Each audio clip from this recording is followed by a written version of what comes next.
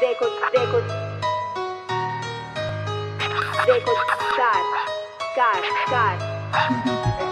Cuentos y experiencias como arenas en un mar. Cuentos y experiencias como arenas en un mar.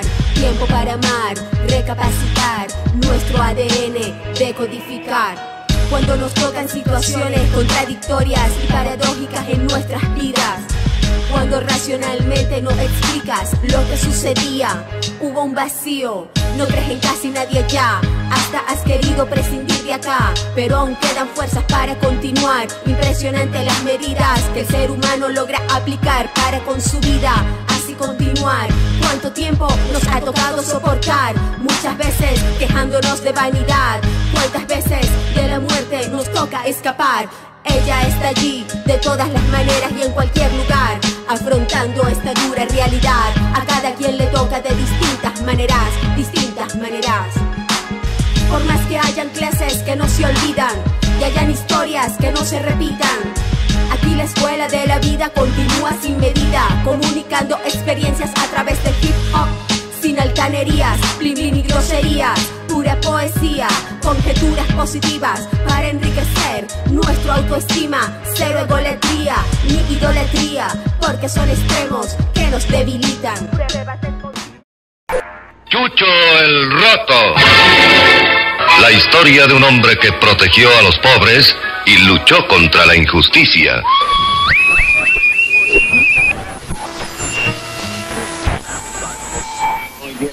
Cuantas menos bobadas idealistas dificulten nuestra tarea, mejor nos irá. Sustituiremos sus valores por otros falsos y les obligaremos a creer en ellos.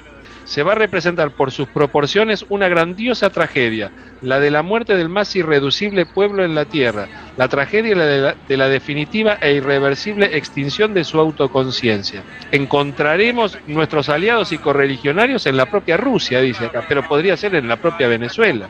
Apoyaremos y encumbraremos por todos los medios a los denominados artistas, que comenzarán a sembrar e inculcar en la conciencia humana el culto del sexo, de la violencia, el sadismo, la traición, en una palabra, cualquier tipo de inmoralidad. Crearemos el caos y la confusión.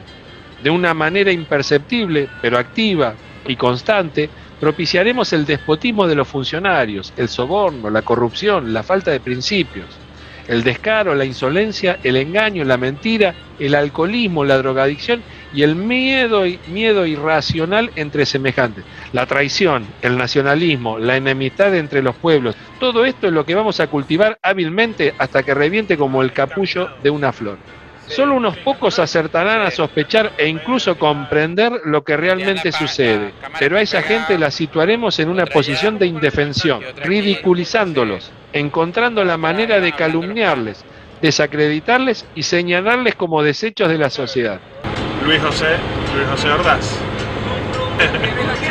Luijo, Andamio, Jordan. Lo que tú estás viendo que qué rayos eres tú o qué vas a hacer. Desde el ejército de Chávez, pues, en ese momento que Chávez estaba vivo, sus últimos años que la revolución sentíamos que íbamos a caminadísima, que teníamos Chávez para rato. Me invitaron a pintar un mural de comando creativo, pero sí fue la invitación que me hizo una compañera de trabajo, en el momento que yo trabajaba en el Ministerio de las Comunas, ese primer mural pintamos a Lenin, me acuerdo, a Lenin, a Lenin como con unos obreros y unos soldados y pues me pareció rechísimo. Estaban tocando el tema del marxismo de una manera fresca, bailes de arte, con arte en las calles. Eso me pareció rechísimo.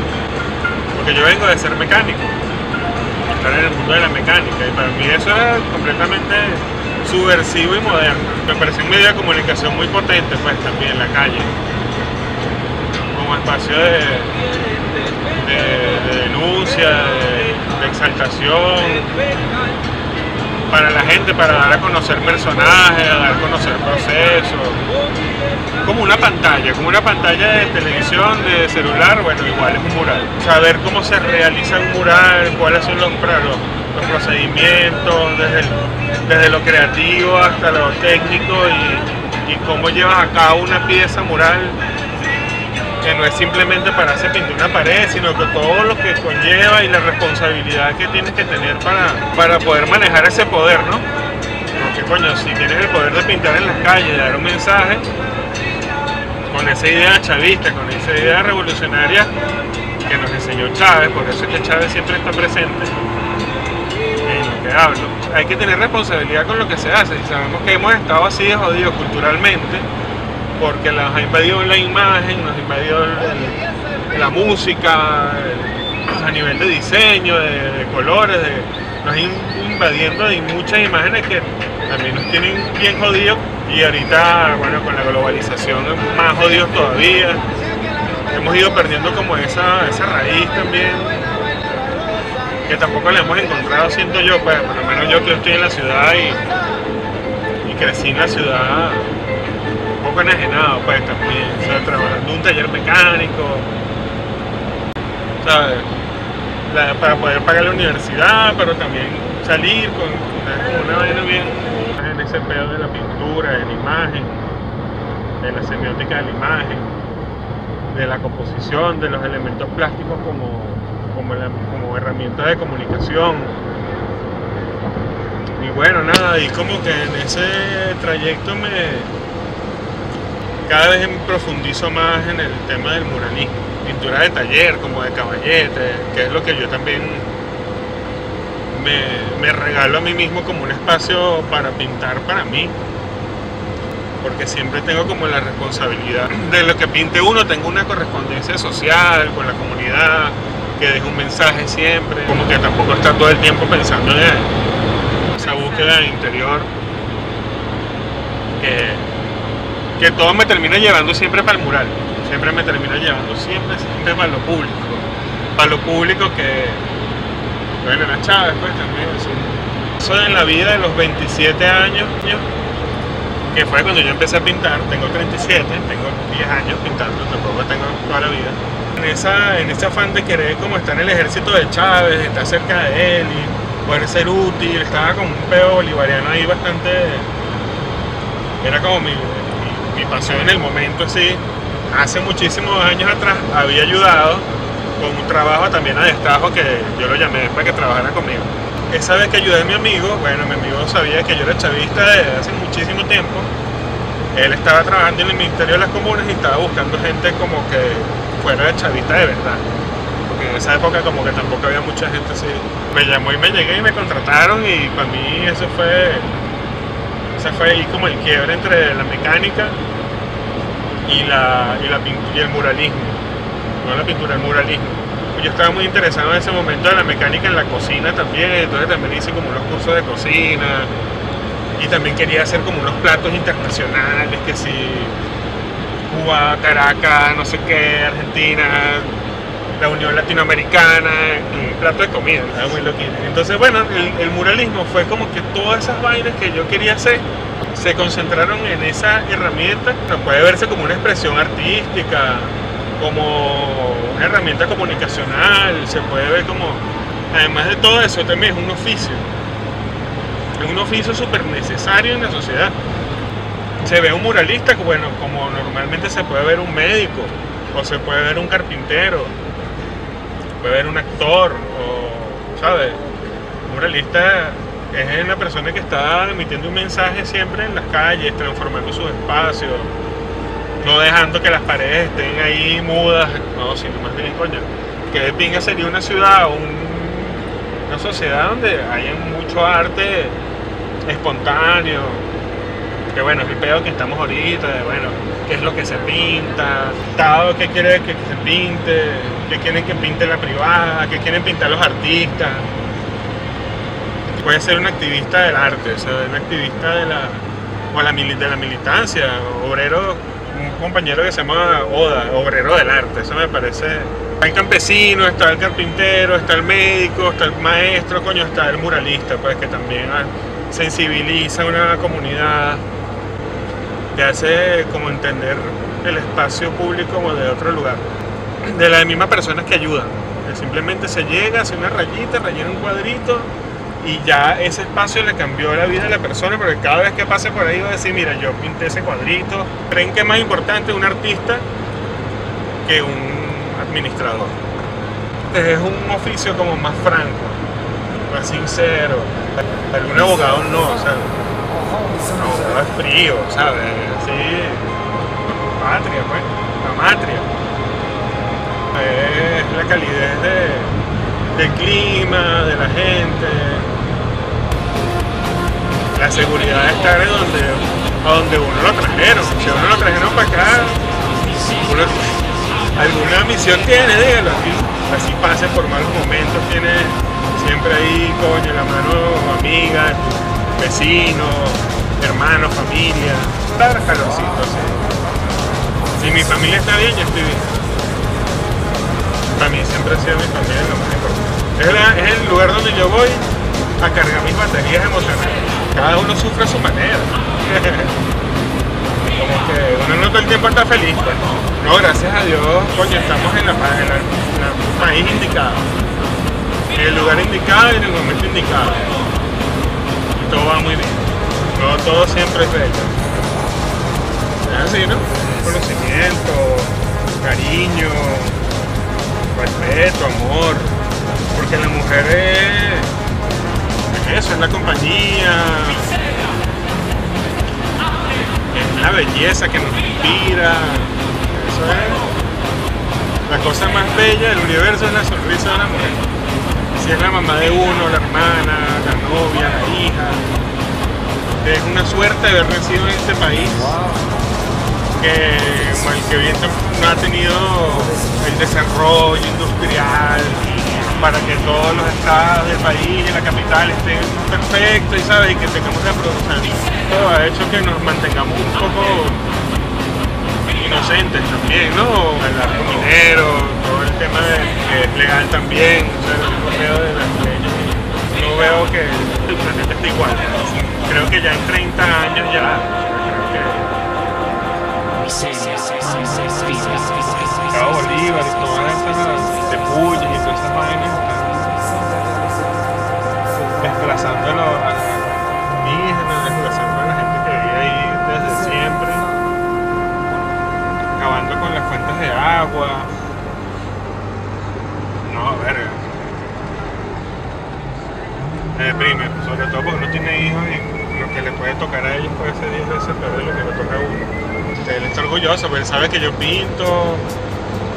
Lo que creo que, creo que todavía no se ha dado cuenta que es algo como atípico. Que no es muy normal tener un papá pintor, pues. Pero él dibuja, él entiende el tema del dibujo, como valora sus dibujos, pinta. Pero ¿qué opina de mi trabajo? No,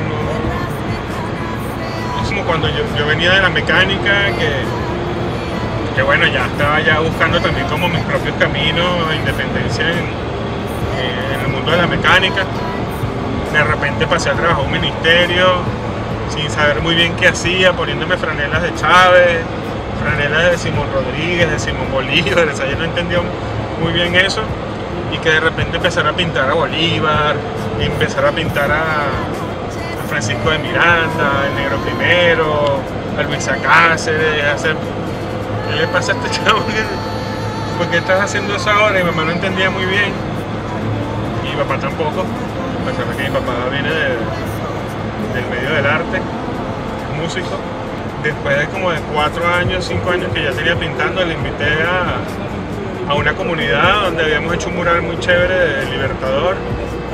Y la gente de la comunidad estuvo siempre como muy presta a que ese mural se realizara de principio a fin.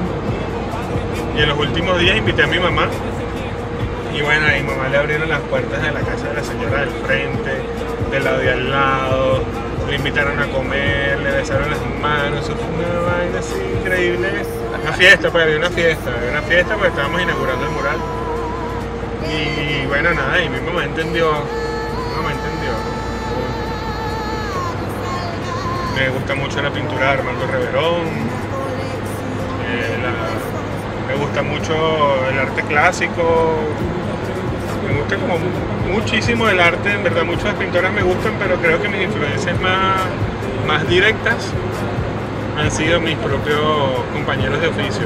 Calaca, el Comando Creativo, Ramón Pimentel, eh, los otros artistas de aquí de Venezuela, como Costú, que son grafiteros, Zen, los MS, los grafiteros de la ciudad, eh, Arte Uno, eh, Javier Dimura, Oda, o sea, todos los artistas contemporáneos, digamos, a mí son mi propia referencia, pues también.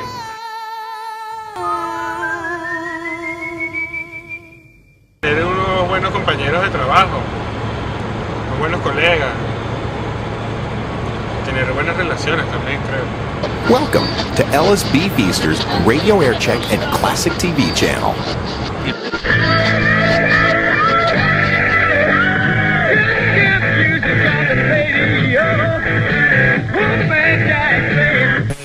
Dollars was dollars was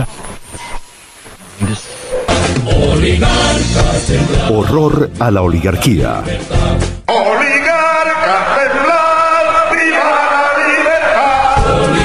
La trinchera chavista que pone a temblar a los oligarcas.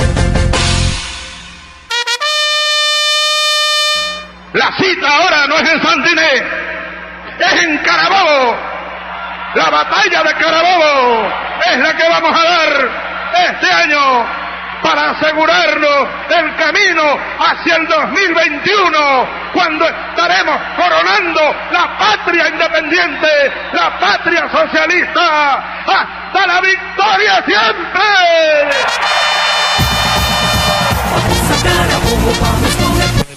ten dollars was Chucho el Roto. La historia de un hombre que protegió a los pobres y luchó contra la injusticia. Las reglas del juego actuales, ¿cuáles son? Que si la oposición elige un alcalde, lo destituye un organismo administrativo.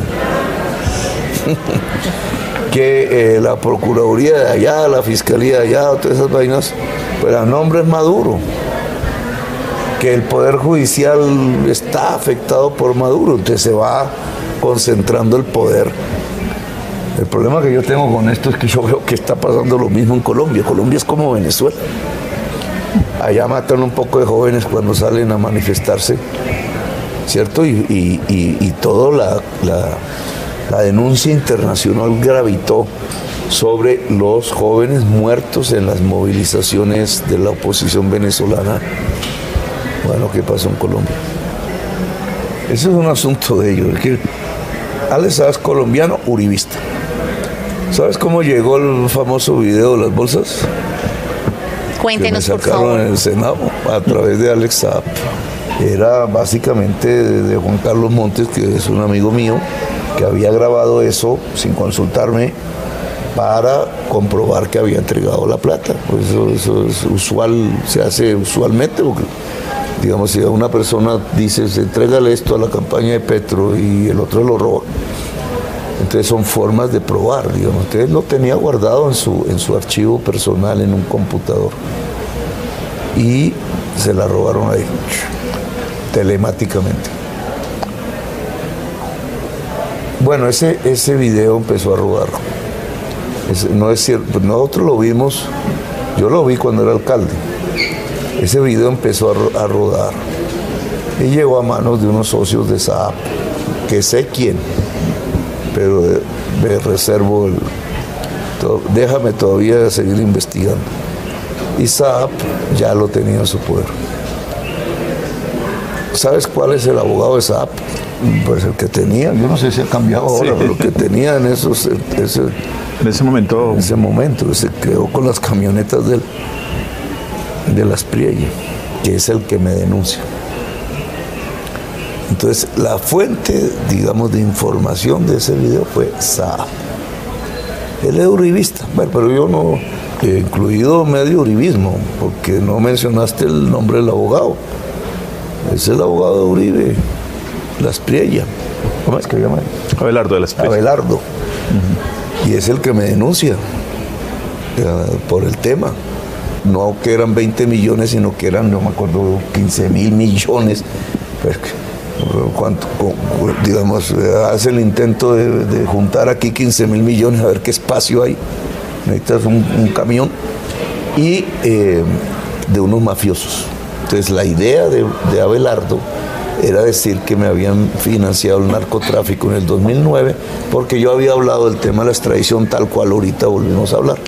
Pero en ese entonces yo me hice una entrevista y volví a hablar lo mismo. Y esa era su idea. Y entonces, eh, bueno, ahí tienes cómo se junta Belardo, Saab, el fiscal, el video, un golpe indudablemente que recibí, al final una investigación que me declaró fuera de delito. Eh, y cómo ese SAP que los venezolanos, el gobierno venezolano lo, lo pone como un héroe revolucionario, no sé qué diablo es lo que están haciendo alrededor de él. Embajador plenipotenciario. Cosas de esas, digamos, y pele, y bueno, y tú dices que lo ponen como condición de un diálogo, pues para mí, Saab no es más sino un empresario, bueno, digamos astuto, pero uribista, él es un gran... Pero que jugó un poco con el hambre de los venezolanos. No, como con las muchos, cajas CLAP. como muchos. Welcome to Beef Feasters Radio Air Check and Classic TV channel. A ver, los Estados Unidos poseen el 50% de la riqueza del mundo, pero solo el 6% de su población. En tales condiciones, es imposible evitar que la gente nos envidie. Nuestra auténtica tarea consiste en mantener esta posición de disparidad sin detrimento de nuestra seguridad nacional. Para lograrlo, tendremos que desprendernos de sentimentalismos y tonterías. Hemos de dejarnos de objetivos vagos y poco realistas como los derechos humanos, la mejora de los niveles de vida y la democratización. Cuantas menos bobadas idealistas dificulten nuestra tarea, mejor nos irá. Sustituiremos sus valores por otros falsos y les obligaremos a creer en ellos. Encontraremos a nuestros aliados y correligionarios en la propia Rusia. Se va a representar por sus proporciones una grandiosa tragedia, la de la muerte del más irreducible pueblo en la tierra, la tragedia de la, de la definitiva e irreversible extinción de su autoconciencia. Encontraremos nuestros aliados y correligionarios en la propia Rusia, dice acá, pero podría ser en la propia Venezuela.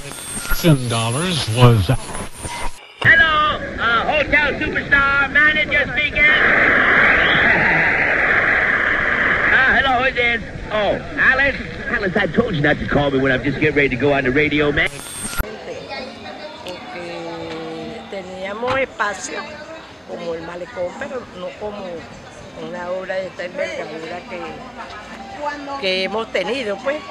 Y la demostración está en, en la cosa. Pues la gente eh, permanentemente siempre asiste al sitio de recreación de día, de noche, a toda hora.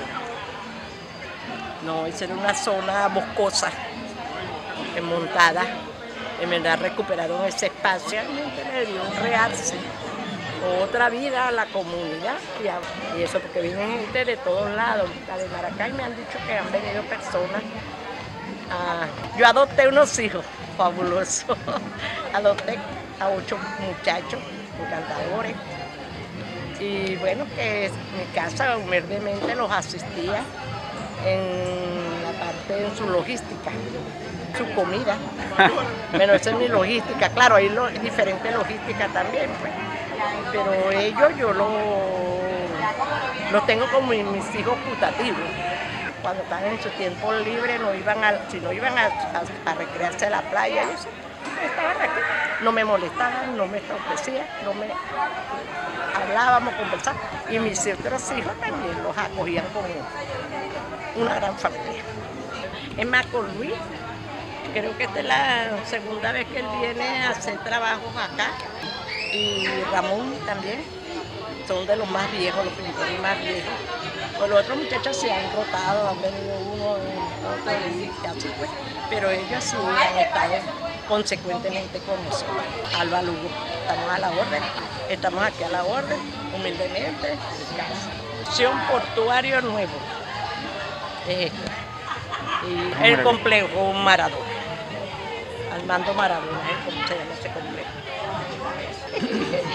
Ellos siempre, yo estoy en contacto con Luis, Francisco Ramos lo he escrito, pero no me ha respondido, entonces no ve que va a viajar y esa cosa. Ten dollars was porque son dos organismos creados para ejercer la hegemonía del capital financiero estadounidense y del capital financiero de algunos países de Europa sobre el mundo, para dominarnos, para dominarnos en una canasta de moneda, en monedas locales. Todos esos temas no son familiares a nosotros. Tengo las denominaciones. La primera denominación va a ser en moneda, la moneda de 0,50 céntimos, mejor conocida como el real.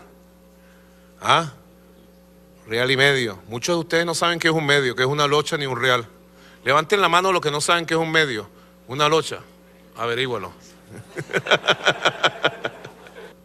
Bonito nuestro bolívar. Moneda de un bolívar y 0.5 céntimos. Vuelve la moneda de un bolívar. Justicia.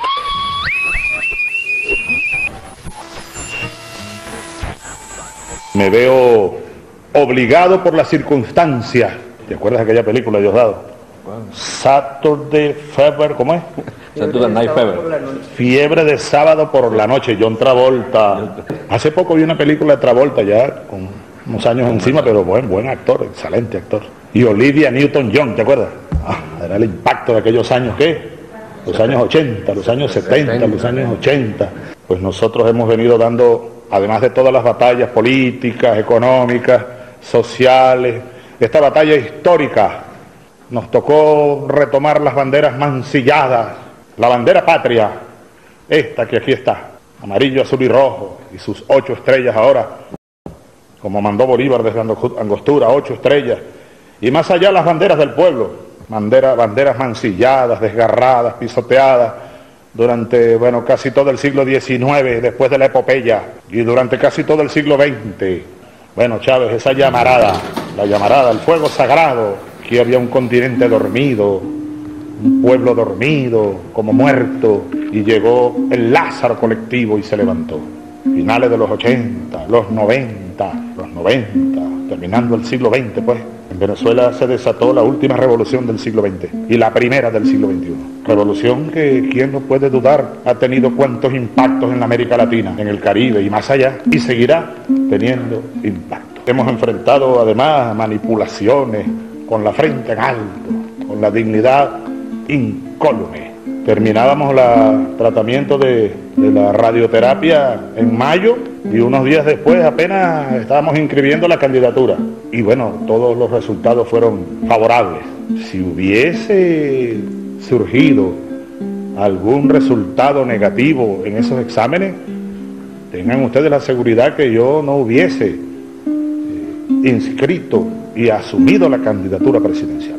Dígame la campaña para las elecciones de gobernadores. eh, andan desplegados nuestros líderes, nuestros cuadros, fervor participativo, organizativo, con propuestas, con ideas, con altura de debate, eh, un fervor organizativo de las bases populares. hicimos un esfuerzo grande para asegurar el pago de aguinaldos, bonificaciones para todos los empleados, trabajadores, trabajadoras, y no solo del gobierno, el ingreso a Mercosur, la cumbre de Mercosur, todo, todo eso marcha y marcha a buen paso. Claro, siempre como aquí mismo lo dije en esta mesa, ¿no?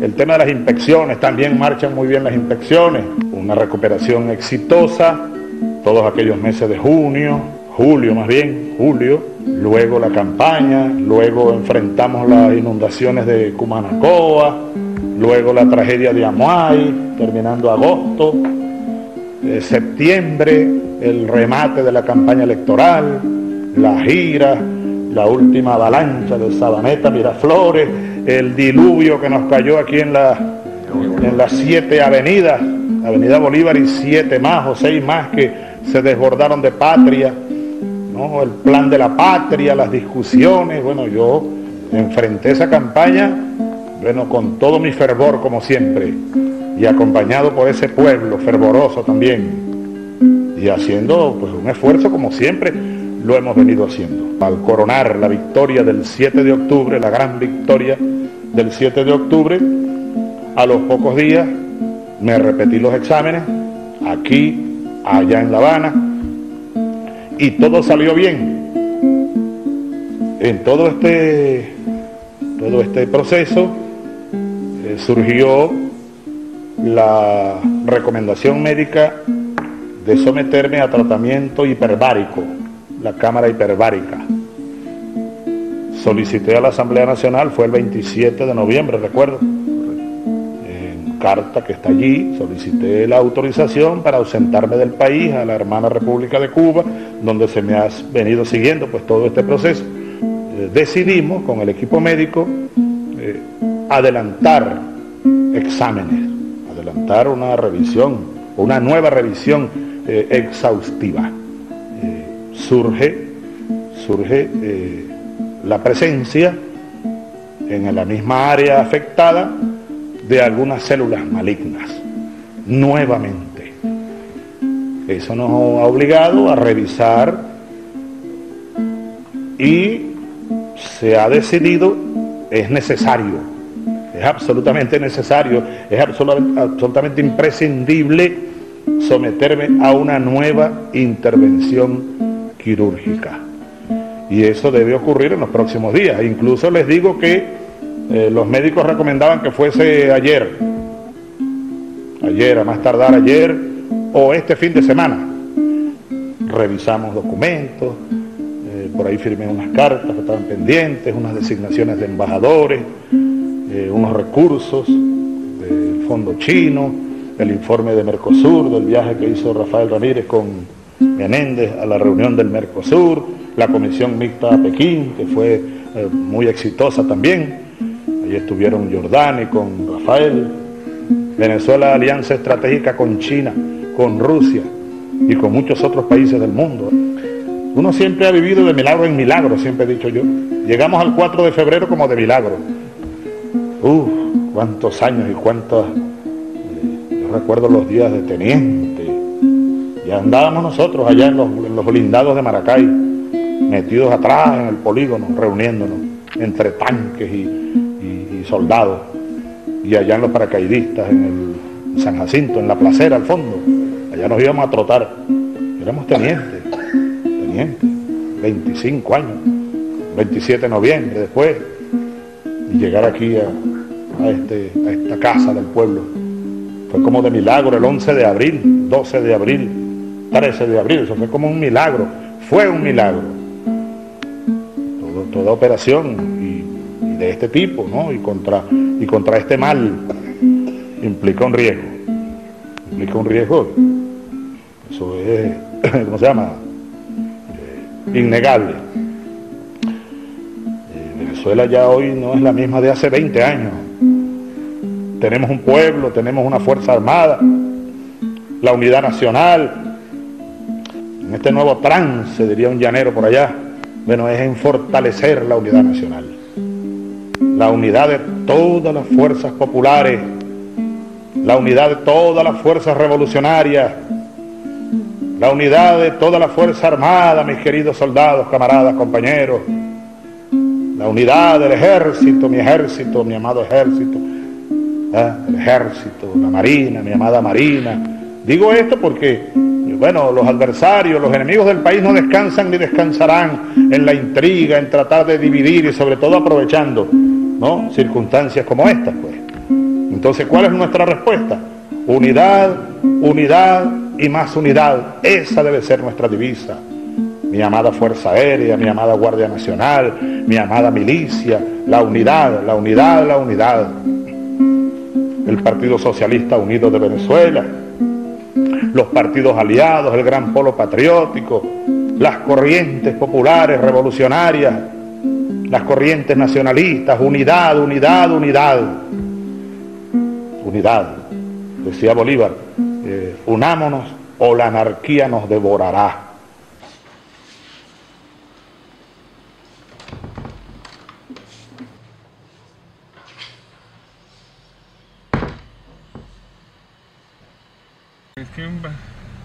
Básicamente nosotros dependíamos de un ministerio, pues estábamos en un ministerio, los que movían el comando, pues, porque nosotros también teníamos como participación así de colaboradores y tal. Y no, bueno, nos fuimos dispersando en la misma crisis también, todo el mundo empezó como a, a buscar chamba por sus lados. Ellos se enfocaron en el pedo de Utopics, no sé si conocen la página Utopics, ya no se hace stencil, guerrilla comunicacional. Estoy diciendo un mural, pero no. No, para mi arte digital es el arte que se hace con medios digitales. Un iPad o una tablet o un programa de ilustración, que tú diseñes tus propios pinceles, eh, tus propios trazos. Y bueno, eso es dibujo, pues también ahí está presente el dibujo. Puedes hacer trampa de alguna manera porque lo estás haciendo y no te estás manchando la mano. Pues a mí pongo siempre por encima el dibujo, el tradicional, la pintura tradicional. Y la materia, pues, el tema de la materia. Me gusta. Y el dibujo digital y la pintura digital me parece que es bueno. Algo que está en una pantalla. Ya. Mira, ese es un mural nuestro, arriba. Pero no se veía. Eh, más bien para ellos lo que es identidad es eso, pues. Es un croupier creen que eso es el arte venezolano, nada más. Esas son puras vainas así, muy prefabricadas, así tipo Pinterest. Pues entonces la burguesía ahora quiere enmascararse y decir que no, que es una burguesía progresista. Vaya, una burguesía progresista. Ese sí es el fraude al que nosotros los bolivarianos, nosotros los revolucionarios, y yo como jefe de Estado, y bueno, y, y actor político, estoy obligado a señalarlo. Porque hay una gran operación que se está montando para, para tratar de engañar, para tratar de hacer un gran fraude en el discurso, en el discurso. Acá adentro hay un mural mío también, pero no se ve de aquí, en esta escuela que está aquí.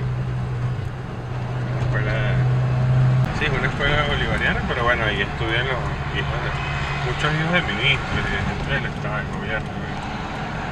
en el discurso, en la propuesta muchas veces banal, superficial. Un discursito de que no, aquí cabemos todos. Tiburón y sardina, sí, sí caben. Pero despreciando las luchas del pueblo,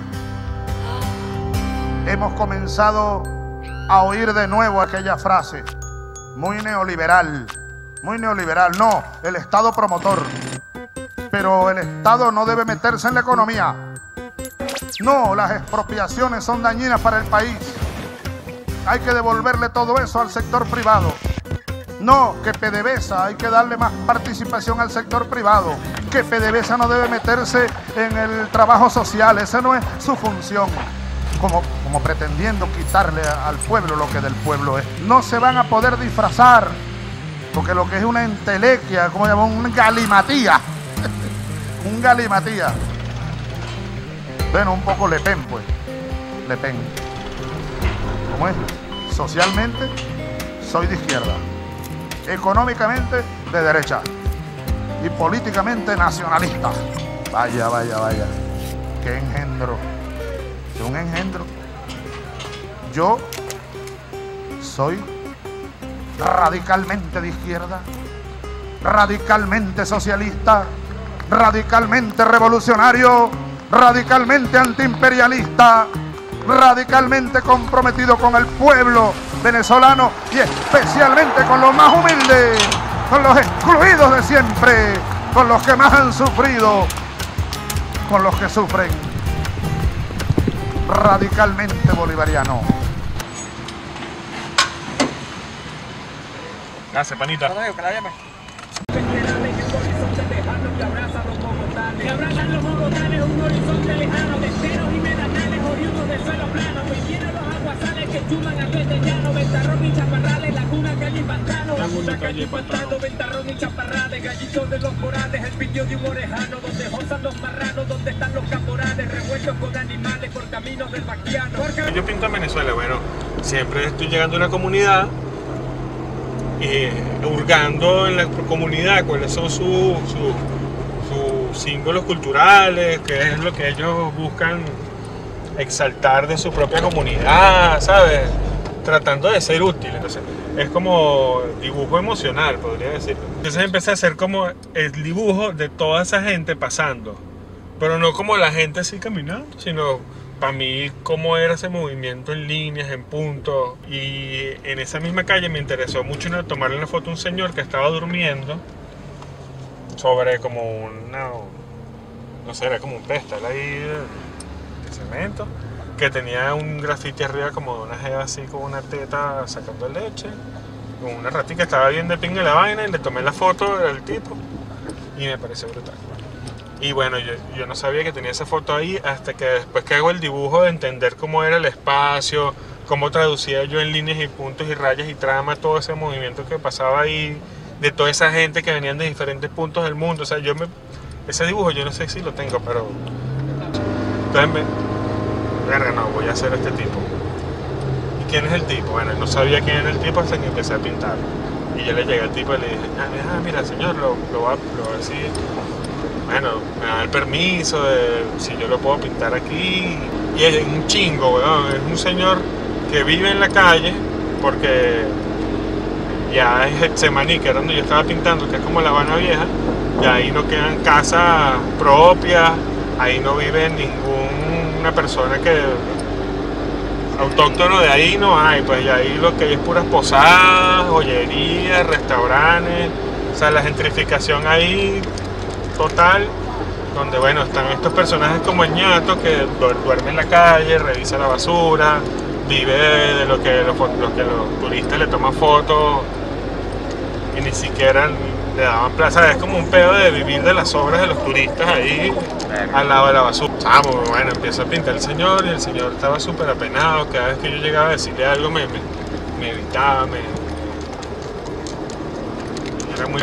Llegó una señora que estaba como asistiendo a la gente en el festival que tenía fama de ser muy loca porque la jeva se había ganado una lotería en Medellín y se lo huelió todo en... Además estaba papiadísima así. Pues y se quedaba conmigo ahí, entonces agarró una caja y le puso así tips, como propinas.